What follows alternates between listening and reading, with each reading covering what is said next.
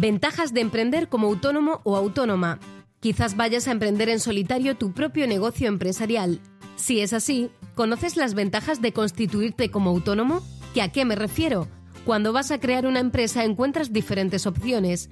Sociedad limitada, sociedad cooperativa, sociedad limitada laboral. Estas opciones se llaman técnicamente formas jurídicas que pueden adoptar las empresas. Cada una de las formas jurídicas tiene sus propias características, pero también tiene requisitos.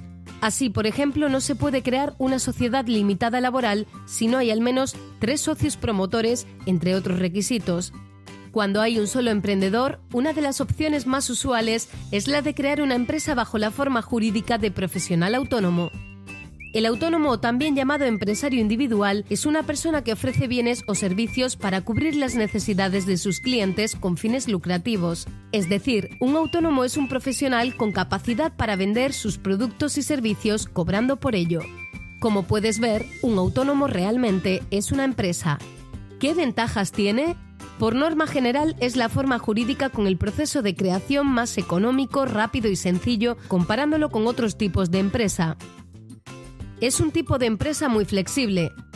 Es posible combinarlo con trabajos por cuenta ajena o darse de alta o de baja dependiendo de la actividad productiva y la demanda. ¿Y ser autónomo quiere decir que solo uno mismo debe hacer todo el trabajo? Claro que no. Siendo autónomo también podrás contratar a trabajadores. Antes de dar el paso y constituirte como autónomo, ten en cuenta estas tres recomendaciones básicas. Recuerda que un autónomo es una empresa y por tanto antes de la apertura de cualquier empresa es conveniente realizar previsiones. Analiza la viabilidad de tu negocio. ¿Sabes cuánta inversión necesitas? ¿Cómo lo vas a financiar? ¿Tienes una previsión de ingresos y de costes? ¿Y sobre tu mercado? ¿Conoces el tamaño? ¿Cuáles son tus competidores? ¿Dónde se encuentran tus clientes? Infórmate sobre si tu actividad empresarial precisa de permisos o licencias especiales, ya que hay algunas actividades que están obligadas a cumplir algunos requisitos. Es importante conocer esto previamente y en el caso de que necesites permisos o licencias, saber el organismo implicado, si te llevará algún coste y cuánto tiempo tardarás en tener estos permisos. ¿Vas a necesitar un local? ¿Has visto ya alguno que pueda servirte? ¿Tienes que hacer obras de acondicionamiento? Infórmate en el ayuntamiento de la localidad donde quieras ubicar tu negocio de la normativa local para la apertura de locales empresariales, de los requisitos y permisos necesarios. Bueno, pues entonces seguro que querrás saber qué trámites a nivel general debes realizar para crear una empresa como empresario individual o autónomo.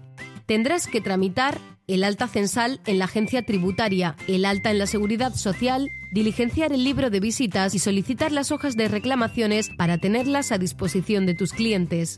Y ya está. Como puedes ver, no es demasiado complejo.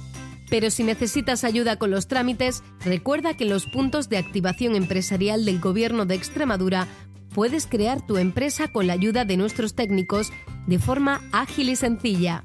Acércate y te ayudaremos a definir tu proyecto y tu plan de negocio. Tan solo tienes que traer tu NIF, tarjeta sanitaria y un número de cuenta bancaria y estarás constituido como autónomo en menos de una hora.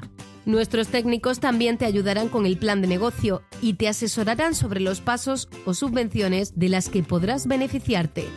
Si quieres más información sobre este y otros temas relacionados con empresas, entra en activacionempresarial.gobex.es o acude a tu punto de activación empresarial más cercano. Te esperamos.